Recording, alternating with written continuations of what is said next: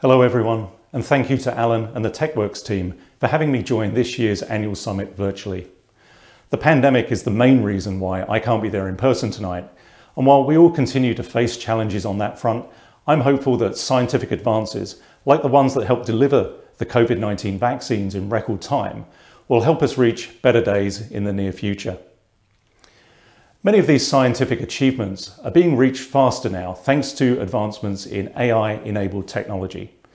I wanted to spend a couple of minutes today talking about the progression we are seeing in ARM in the use of AI, from what we do internally as a business, uh, how we design our products, and to the fascinating end applications of the technology that are starting to emerge.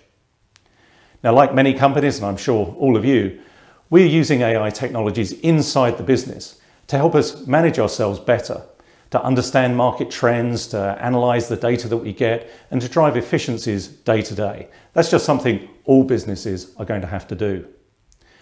Additionally, though, we're starting to see traction in the use of machine learning and AI in how our products and silicon chips generally are designed and verified. It's a fascinating trend.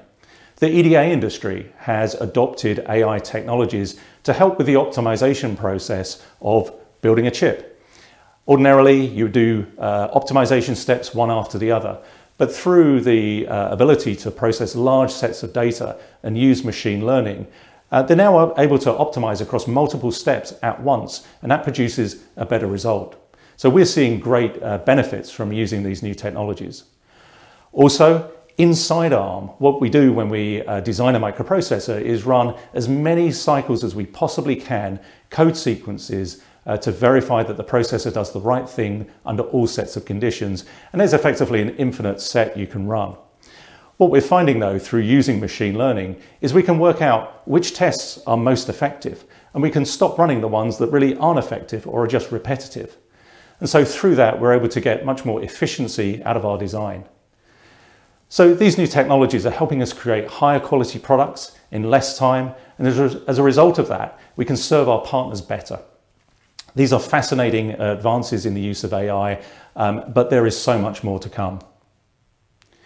Now, outside ARM, we're also seeing great use of AI at the endpoint. And by endpoint, what I mean are these tiny devices that are connected over some form of wireless connectivity to the network itself, to the internet. So these endpoint devices, these are the things that form the Internet of Things.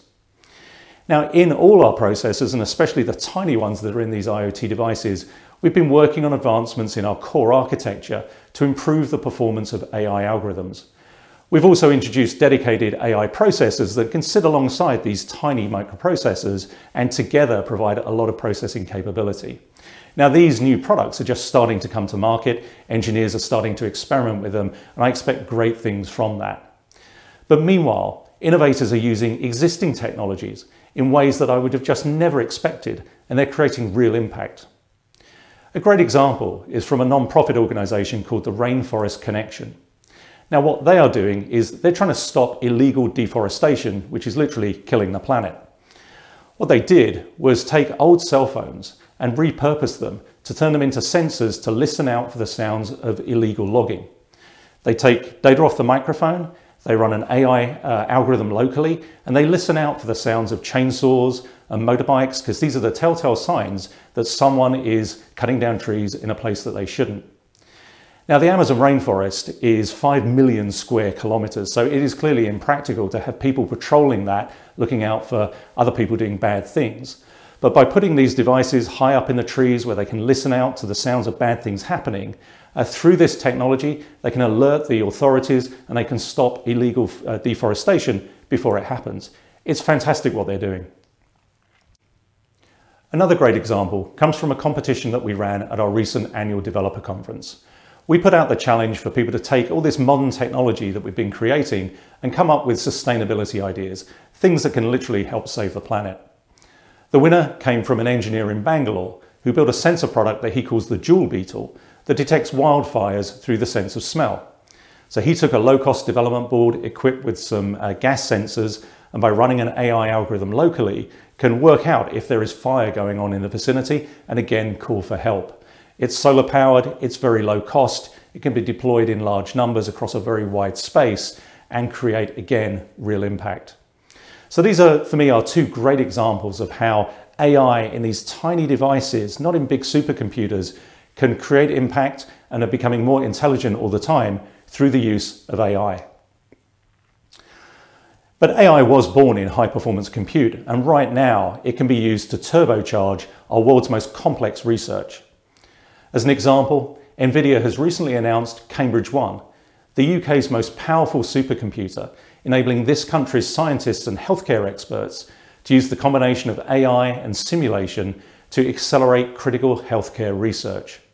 They're not doing it alone. They've partnered with companies and organisations such as AstraZeneca, Oxford Nanopore and King's College London to put both the hardware and the software modelling tools in the hands of researchers.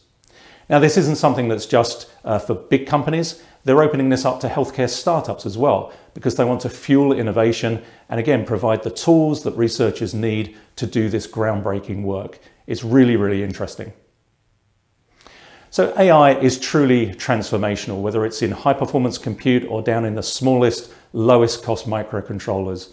But like all technology, no one company can or will do it all on their own.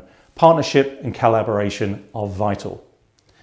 And this is why TechWorks is such an important pillar to foster innovation in the UK. The UK has a wealth of experience and expertise, and if we all work together, leveraging the convening platform that TechWorks provides, then we can amplify our efforts and create more opportunities for all of us. That's it from me. I just want to say thanks again. Enjoy the rest of the evening, and I hope I can be there in person next year. Thanks a lot.